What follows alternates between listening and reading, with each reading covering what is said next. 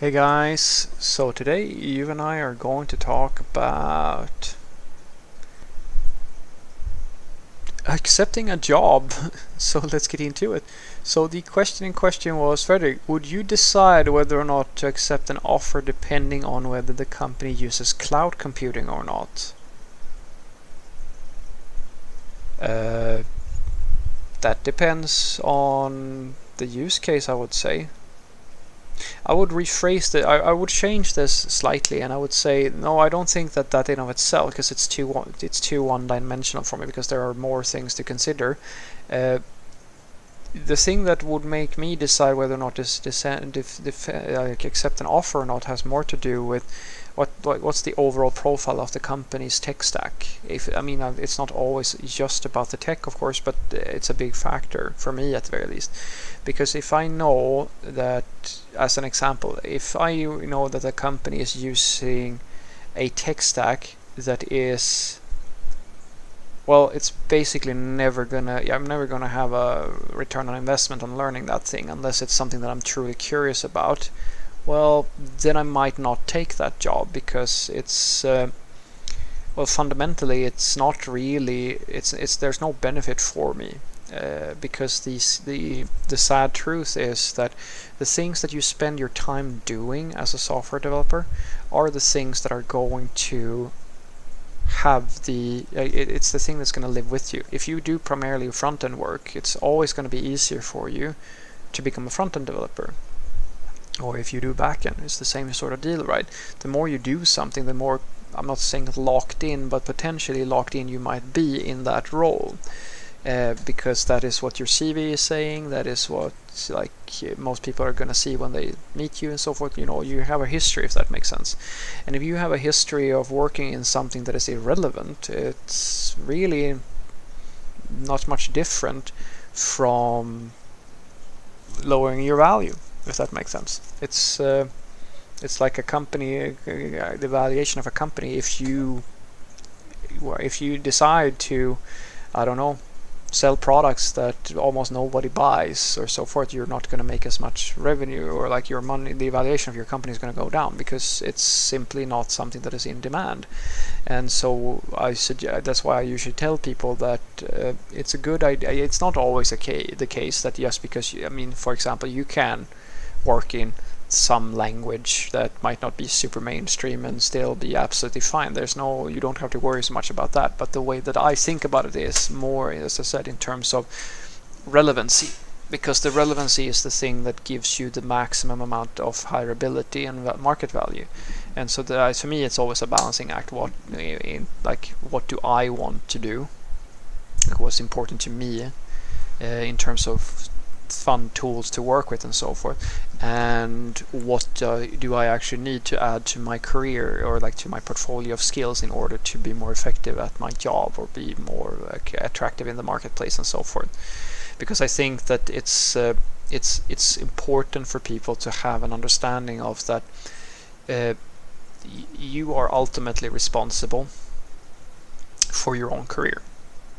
There is no uh, like and that's why I, I've talked to a few of my old coworkers who have like these almost borderline like they are so loyal to companies that uh, I mean it's very admirable to a certain degree but at the same time it's also a little bit damaging to them because uh, uh, as I've told them before it's you're sort of you are you in some cases you are giving very important time to an organization that is it's still a job and if they need to get rid of you they will get rid of you.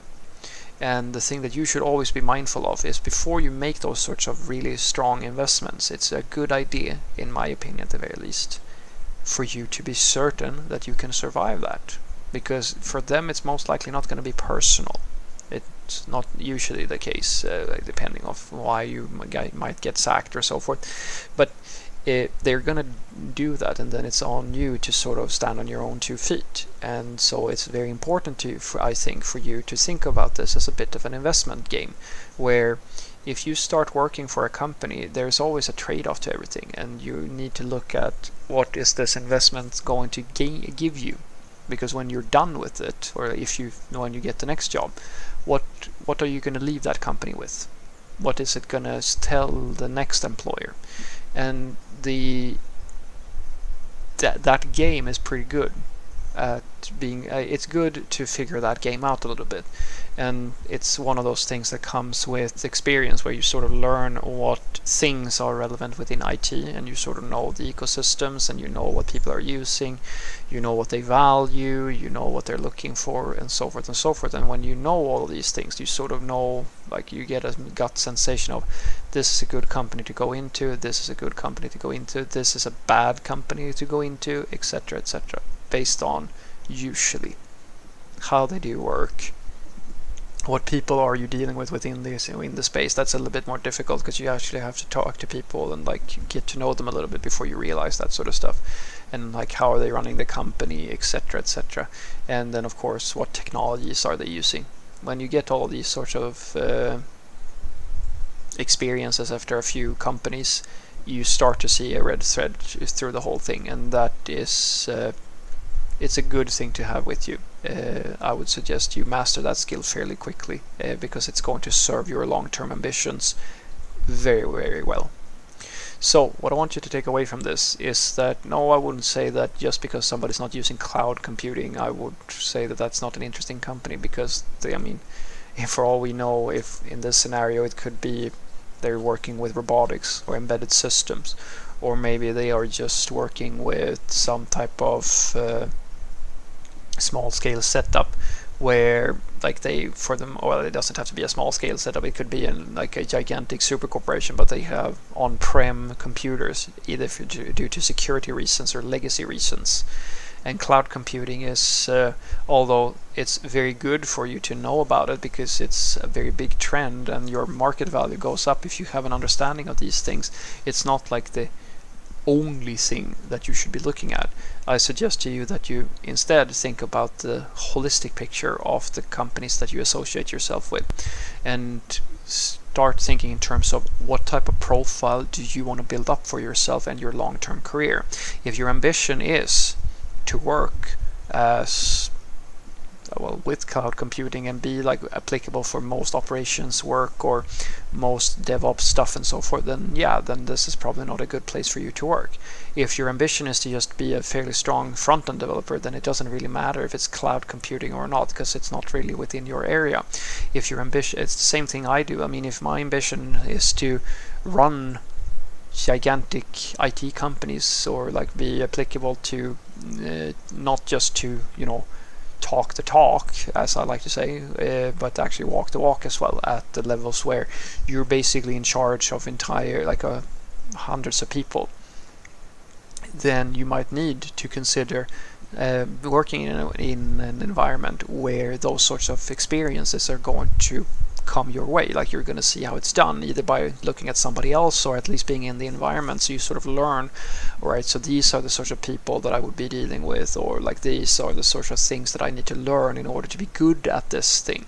So I think that that's the way you should think about it more. Uh, think about each each company that you join as an investment and always consider what you are trading away and what you're gaining from each time that you uh, look at an offer that's a very good idea, I think. Have a great day.